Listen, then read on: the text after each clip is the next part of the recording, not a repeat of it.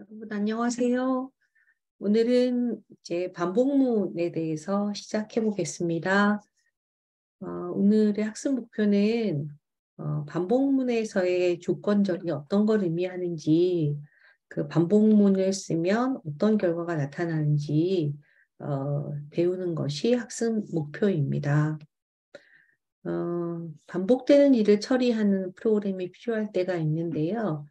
어, 규칙적인 변화가 일어나거나 할 때, 어, 반복문 while이나 for 옆에 조건을 써주고 조건에 맞는 동안 어, 같은 종류의 스테이트먼트가 실행되게 하는 것입니다. 반복문에는 while과 for가 있는데요. 어, while하고 for가 있는데 어, 여기 보시는 것처럼 while은 이런 식으로 작동합니다. i가 i의 0이 저장되어 있고요. 어, i가 10보다 작은지 물어봅니다. 어, 작으면 이두개 문장을 실행하고요. 작지 않으면 종료하는 것입니다. 그래서 0이 10보다 작으니까 0을 출력하고요. I를 하나 증가시키면 1이 됩니다. 1이 된 후에 또 물어봅니다. 그래서 10보다 작으니까 또 2를 출력하고 i는 2가 됩니다. 2가 된 후에 또 10보다 작은지 물어보고 어, 작으니까 출력하고 3이 되고 이걸 계속 하나씩 반복해서 9일 때 합니다. 9일 때 해서 9는 10보다 작으니까 9가 출력되고 i가 10이 됩니다. 10이 된 순간에 아이가 10보다 작은지 물어보면 작지가 않고 같잖아요. 그러면 종료해서 그 다음에 있는 문장으로 이동하게 됩니다. 어, 그래서 0부터 9까지 출력하면 이런 식으로 쓰이고요. 어, 이 같은 결과가 나오도록 포문을 쓰면 포문에서는 이 range라는 함수를 쓰는데요. 이 함수는 조금 이따 설명을 하고요. For i in range라고 하면 이 range 함수에서 생성되는 숫자가 0, 1, 2, 3, 4, 5, 6, 7, 8, 9입니다. 그래서 처음에 0을 i가 기억해서 출력하고요. 그 다음에 1을 기억해서 출력하고 9까지 하게 되는 것입니다. 어, 현재 이 문장에서 while과 for의 가장 큰 차이점은 while문은 i 값을 변화시켜주는 구문이 while 안에 존재해야 합니다. 어, 그래야 조건을 빠져나올 수 있는 데까지 값이 변화하는 것입니다. 하지만 i는 어, 변화하는 값을 써주지 않는데요. 왜 그러냐 하면 이것 때문에 변화하는 게 아니고 렌지 함수에서 나오는 값이나 또는 리스트나 문자열에서 값이 계속 변하도록 하게 하기 때문입니다. 어, 오늘은 주로 while문 다루는 어, 연습을 하고요. 다음 시간에 for문을 다루도록 해보겠습니다. 그래서 반복문은 금방 보신 것처럼 조건을 물어봐서 그 조건이 true면 밑에 있는 statement를 하고요. 하고 나서 다시 또 조건을 물어봅니다. true면 또 실행하고 또 물어보고 실행하고 하다가 물어봤더니 조건이 false예요. 그러면 그 반복문을 종료하게 되는 것입니다. 이제 여러분 예제는 아까 여러분한테 설명 드렸는데요. 아까랑 똑같은데 이 문장 하나가 더 추가됐어요. 어, 추가돼서 이 i i 꼴 0부터 여기까지 0부터 9까지가 출력되잖아요. 그러니까 제일 마지막에 이 문장이 추가돼서 i 값을 출력하게 되면 이 i 값은 몇이 출력될까요? 네, 맞습니다. while의 조건을 처음으로 어, 그 인지하지 않는 그러니까 while의 조건에 false가 되는 값이니까 10이 출력이 되게 됩니다. 그러니까 조건절을 평가해서 true 또는 false가 확인되면 이런 식으로 여러분 하시면 됩니다. 음,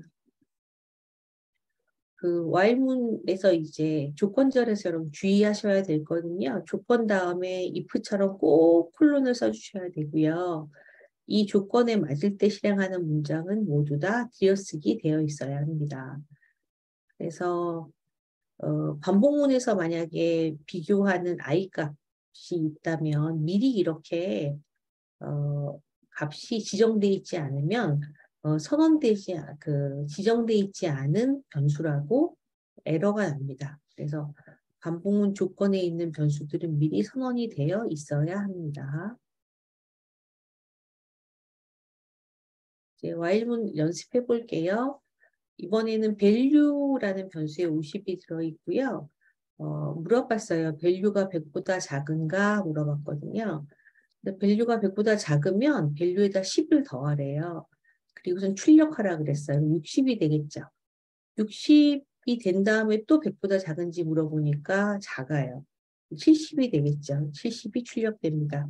70은 또 100보다 작죠. 그래서 80이 돼서 80이 출력되고요. 80은 100보다 작아서 90이 돼서 90이 출력되고 어, 90은 100보다 작아서 100이 돼서 100이 출력됩니다. 어, 100을 출력한 다음에 100보다 작지가 않죠. 그래서 종료에서 출력해 보면 last value는 100이 되는 거죠. 아까 0, 1, 2, 3, 4, 9 출력할 때랑 다른 점은 그 그때 코드는 프린트를 먼저 하고 값을 증가시켰고요.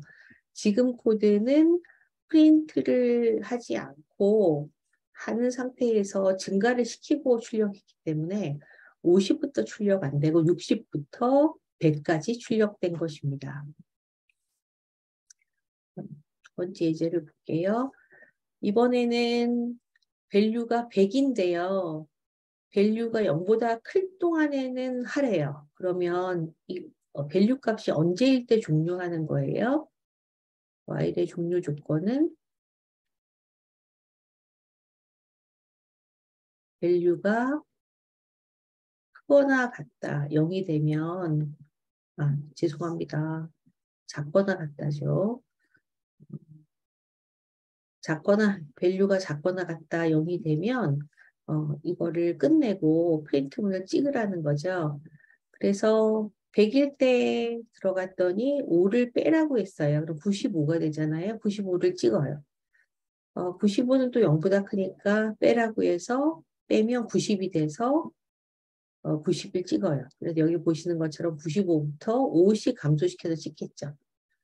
그래서 이제 마지막에 5가 됐을 때 5를 빼니까 0이 됐고요. 0이 출력된 후에 value는 0이 되니까 종료 조건에 맞아서 끝나서 value 값을 찍어주면 0이 출력되는 것입니다. 세 번째 연습 문제를 보면요. 이번에는 i가 1이고요. i 값이 2의 10승보다 작거나 같으면 하라 그랬어요. 그러면 여기서 종료 조건으로 써보면 종료 조건은 뭐예요? i가 크다 2의 10승 이게 종료 조건이잖아요. 그래서 처음에 1일 때 2의 10승보다 작으니까 1을 찍어요. 찍은 다음에 그 다음에 i에다 2를 곱해요. 그리고 2는 또 2의 10승보다 작잖아요. 그 2를 찍고 또 2를 곱하면 4가 되겠죠. 이런 식으로 어, 2의 1승, 2승, 3승, 4승이 쭉 찍혀 나가는 겁니다. 그래서 1, 2, 4, 8, 가서 1024가 2의 10승이 돼요. 그래서 2의 10승이 됐을 때, 어, 될 때까지니까 됐을 때 1024가 찍히고 그리고 2048이 된 상태에서 while문은 종료가 됩니다. 그래서 1024까지 찍히고 요 프린트문 때문에 찍히는 결과가 여기 있는 것처럼 2048의 값이 찍히게 되는 것입니다. 그러니까 조건에서 이퀄이 있느냐 없느냐도 종료 조건이 상당히 차이가 나죠. 요 이전 예제에서는 다 크다 작다만 있었거든요. 그 다음에 10번. 어, 요거는 처음에 시작을 앞에 거랑 반대로 했는데요. i를 2에 10승으로 시작을 했어요. 1024로 시작을 해서 1보다 크면 하라 그랬는데 그럼 요거의 또 종료 조건은 뭐죠? i가 1보다 작거나 같으면이 되겠죠. 그래서 2의 10승을 출력하니까 1024가 출력됐고요. 그리고 그 다음에는 i를 2씩 나눠서 다시 i에 넣습니다. 그래서 500, 그 512가 되니까 이것도 1보다 크잖아요. 512 출력하고 또 나누니까 256 돼서 또 크니까 출력하고 요걸 언제까지 해요? 네. 일단 2일 때까지 했는데 2일 때까지 2일 때 1보다 크니까 출력하죠. 2를 출력하고 2를 2로 나눈 몫을 찾으니까 1이 되잖아요. 1은 1보다 크지가 않으니까 이 상태도 종료가 돼서 마지막 값은 1이 출력되는 것입니다. 이제 연습 문제를 해볼게요. 여러분 1부터 1000 미만 사이의 7의 배수를 while문을 사용해서 한번 출력하는 코드를 잠깐 해보세요.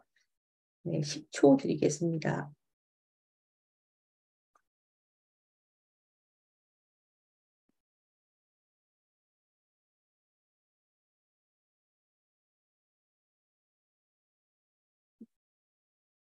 네, 금방 하실 수 있었죠? 어, 이렇게 i는 7로, 7의 배수라고 했으니까 7로 시작해가지고요. 어, 1000보다 작을 동안에 숫자를 나눠서 나머지가 0이 된다는 건 7의 배수란 뜻이잖아요. 그래서 출력을 하고요. 그리고 7의 배수니까 i를 i 플러스 7 해서 7 다음에 14, 21 이렇게 가면 되겠죠. 그럼 7로 시작하고 7로 증가시킨다면 if는 꼭 없어도 되죠. 그러니까 이거는 써도 좋지만 if문이 없고 프린트만 있어도 7의 배수가 출력이 되는 것입니다. 음, 여러분 오늘은 반복문에서 반복문이 어떤 것인지를 배웠고요. while에서 조건의 결과가 false면 빠져나오고 while의 조건의 결과가 true면 안에 문장을 내부 실행을 하게 됩니다. 질문을 해볼게요. 그럼 반복문은 언제 사용해요? 음, 네, 맞습니다. while문은 조건을 만족할 때 반복해요? 불만족할 때 반복해요?